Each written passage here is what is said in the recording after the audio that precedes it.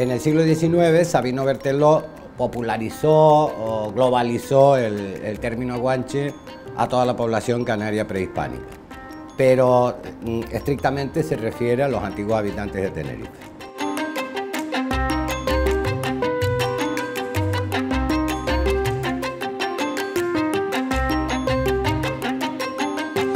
Las momias en Canarias fueron descubiertas en Tenerife, concretamente a raíz de la conquista.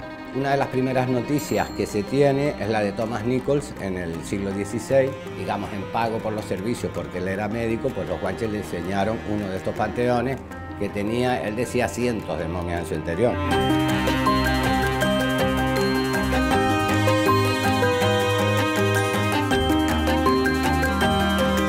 La técnica que usaron los guanches es propia. Eso no significa que ellos no tuvieran conocimiento de que otra cultura, como puede ser la egipcia en el norte de África, momificara. Pero la técnica que desarrollaron es propia.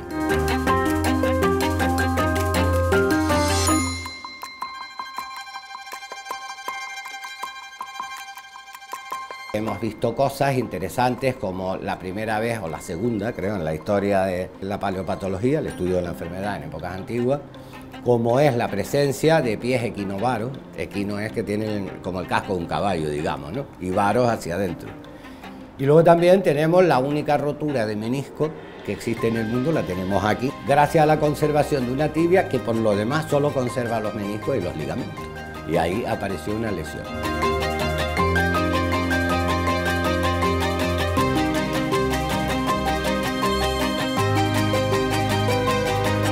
Desgraciadamente hay momias guanches en, diversos sitios. La momia de Madrid, que sin duda es la mejor que existe, pero no solo entre las momias guanches, sino entre las momias del resto del planeta. En San Petersburgo, en Viena, en fin, un reguero de restos humanos pertenecientes a la cultura guanche fuera de la isla.